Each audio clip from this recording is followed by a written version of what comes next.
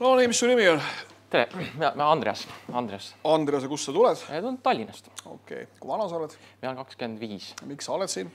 sest et äh, ma tahan kuulsaks saada. okei okay., no mis sa laulad meile täna? laulan seda Annabelli. okei okay,, kuulame. Annabel, Annabel, how can you make me so pale mm,? aitab küll.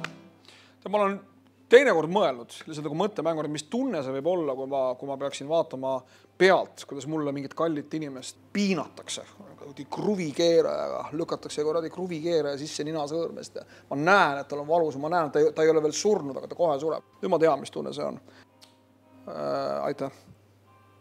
seda koll-, kollast kaarti. ei, sa ei saa midagi, kurat. tere, sa vaatad podcasti Puhka jalga. meil on täna külas kõõma vastasuse eestkõneleja ja wannabe Jimi Hendrix, Mihkel Raud tere, Mihkel, puhka jalga. no tervist, tervist ah.. Kiina olev kloun, ma saan aru, jah? oled sa valmis? vaat sellega on niimoodi, et äh, kiilakas on okei okay olla, kiilane, vot see on rõve. ma soovitan sul lihtsalt ära ajada, ongi rahu majas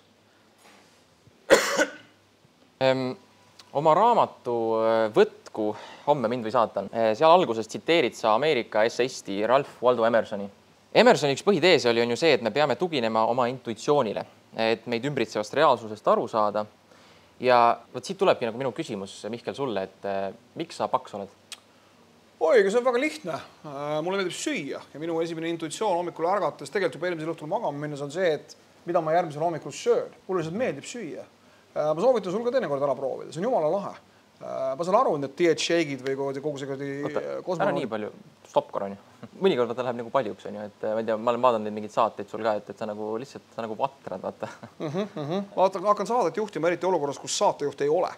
hakkan lihtsalt saadet ise juhtima kui sina läheksid praegu, sa oled viiskümmend neli on ju mm, -hmm. kui sa läheksid nüüd viiekümne neljasena Superstaari saatesse võistlema, mis sa arvad, kui kaugele sa jõuaksid? see on hypothetical nagu inglise keeles öeldakse, ma ei lähe Oota, Superstaari saatesse. see on hüpotees, hüpoteetiline väide. ma ei tegele, ma oskan väga hästi inglise keelt, ma oskan inglise keelt nii palju, et ma tean, see on hypothetical, sina ei teadnud, sa pidid kontrollima, mis asi see on, mis asi see on. okei okay,, aga proovime korra loeme numbrid korra inglise keeles ah?.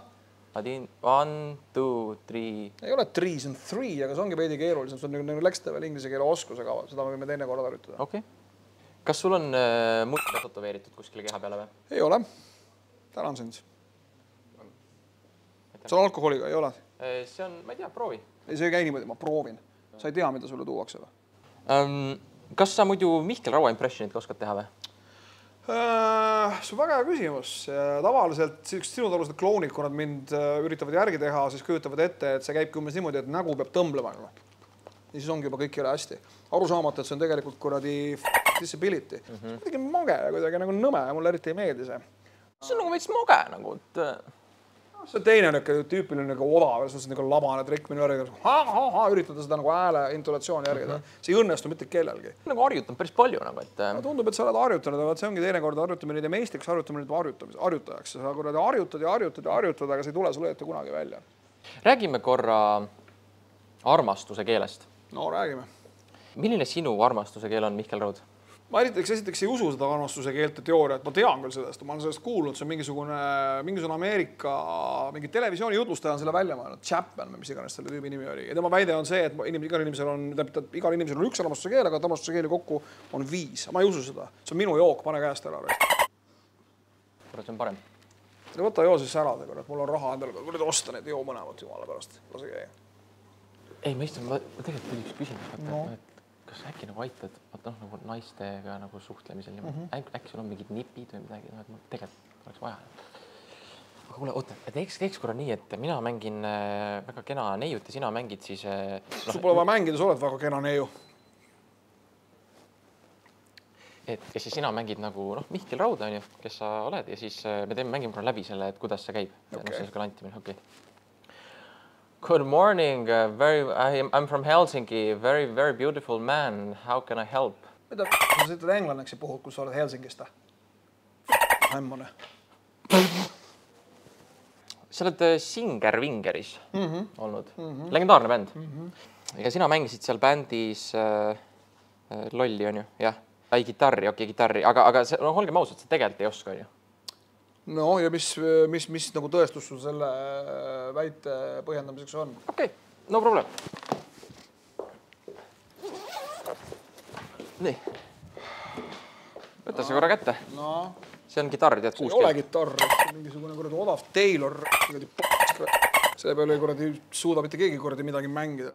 Taylor on hea firma, ära saa valesti aru, aga selleks peab natukene raha olema, et nagu normaalne Taylor osta. aga mängi, mängi korra, mul on üks, mul tuli üks laul välja No, mis mäng, laul ole see hea, mängi seda.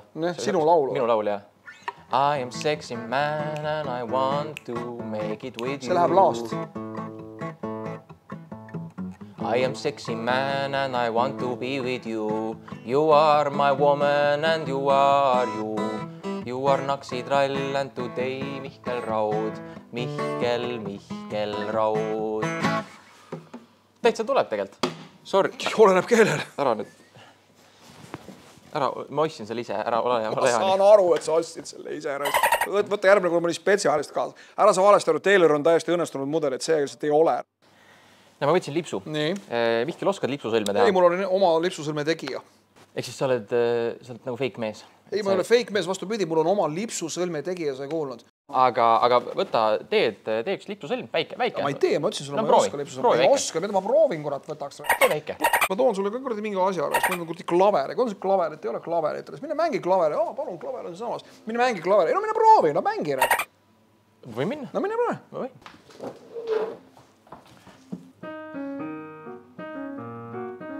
Jesus, sa ei oska isegi seda mängida. see ei käi niimoodi. See on kõige lihtsam asi maailmas maailmas. ma näitan, kuidas see käib. ma näitan, kuidas see käib. näed, see käib niimoodi. okei, okei, aitab, aitab, aitab, see on minu intervjuu. ma ei viitsi. mina jään, see laul, räägi korra sellest laulust. mis sa tahad, et ma sellest räägin? no miks sa tegid selle, kuidas sündis? tegelikult tead, ei tegelikult pole vaja, vahet pole, kõik on niigi selge. mina jään, sina lahkud, ehk siis oli tore, hakka astuma. Mine nüüd.